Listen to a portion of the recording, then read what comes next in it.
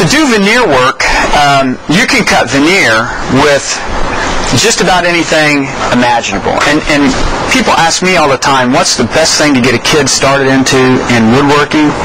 A lathe. The lathe is a great tool to get somebody started on. I think a better way to get a kid involved with veneer or with woodworking is to get him involved with working with veneer. See, veneer can be cut with scissors. So if you've got a child and you're wanting to teach them how to do something, you could have them just take a pair of scissors and they could cut out shapes all day long.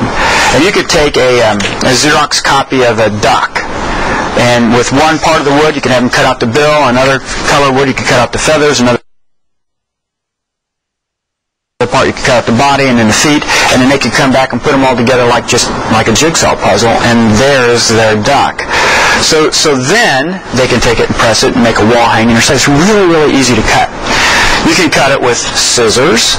Uh, you can cut it with paper shears. You know the big old knife things that you could come down and you could cut with? Man, that cuts veneer perfectly.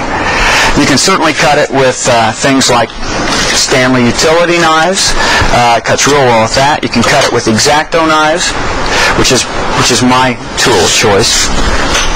You can cut it with chisels. You have um, veneer saws. The thing about veneer saws when they cut veneers, I mean, right now, it didn't do anything to me. What people don't understand is a $10 saw, they do not come pre-sharpened. So right now, if you were to look at the, the teeth on this, they're blunt across the top. They're flat. And they're not going to cut unless they, they're more of a knifed edge. So in order to sharpen one of these, you'd have to unscrew it from here, take a file, and file half of it away. So instead of being blunt across the top now where the teeth are, we turn one side into more like a knife edge. Once you do that, it creates a, a few burrs, so you need to take a little triangular file and re-tip your teeth. But once you've done that, this thing excellent.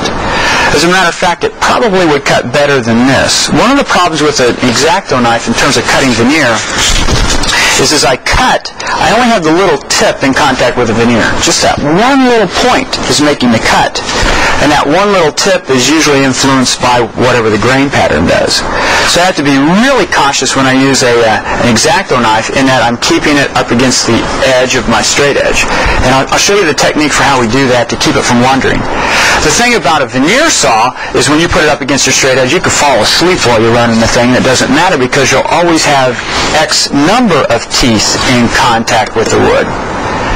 So veneer saws are good, but they won't work unless they're tuned up first. Uh, they won't work at all, uh, as you can see. For, for me, uh, whenever I do veneer work, I, I always work on one of these self-healing mats. I mean, you wouldn't want to try to cut on your workbench. It's not a very solid surface, and besides that, you cut into it too much.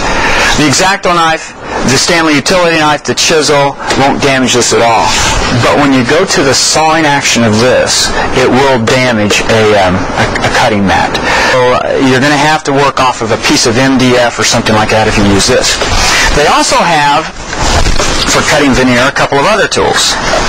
Uh, keeping with the knife idea, you can buy a veneer slitter, uh, such as this. This works off of just a plain old everyday razor blade, just the kind that Grandpa used to have. Okay, and it's got a couple of little holes in it. And those holes fit into, this is the uh, left-hand side, but you can see those two little brown spots there. It's got a screwed-on plate. So you put the, the uh, razor blade on, and you put the plate over the top, and, and, this one does have a blade in it. And now I could go up against my straight edge and, and again, knife cut the veneer. The knife is at a skewed angle, so you can make one pass, and you get more knife in the cut as to just a little tip. It is right and left-handed, so I could move this over to the other side if I'm left-handed. So, but this is an expensive little tool, probably somewhere in the neighborhood of 60 to 75 bucks. And, and most people, when they get into veneer, you know, we all probably have an X-Acto knife at home, or we could certainly go get one for a couple of bucks. So this is a little bit more practical than this one here.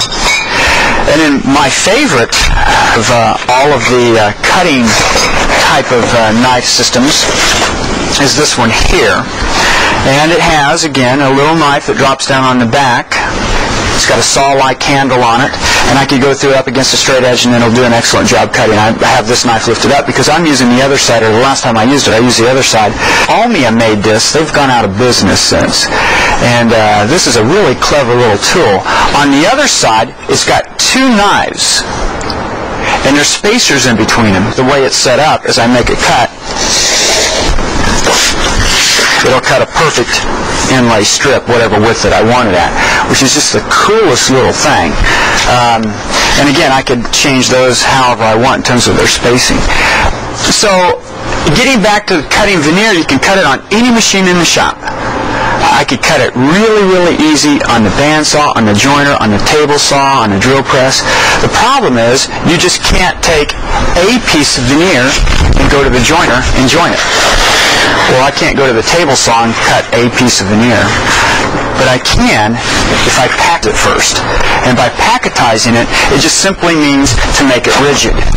So by taking a bunch of pieces of veneer, sandwiching them between two pieces of particle board, and I put a couple of just clamps on here and tighten it down as tightly as I could. I've gone through and hammered in some staples or shot in some staples or put in some screws so that they are, are as far away to the outside edge and will do as least amount of damage as possible to the veneer itself. You certainly wouldn't want them everywhere in here. And at this point in time, I went to the bandsaw real quick and just pushed it through and cut off all the fluff that was hanging out on this side. And I went back and went to the joiner and jointed it. And now I could go to the table saw and cut strips. I could drill holes in it if I wanted to. I could go to the bandsaw and cut irregular shapes out.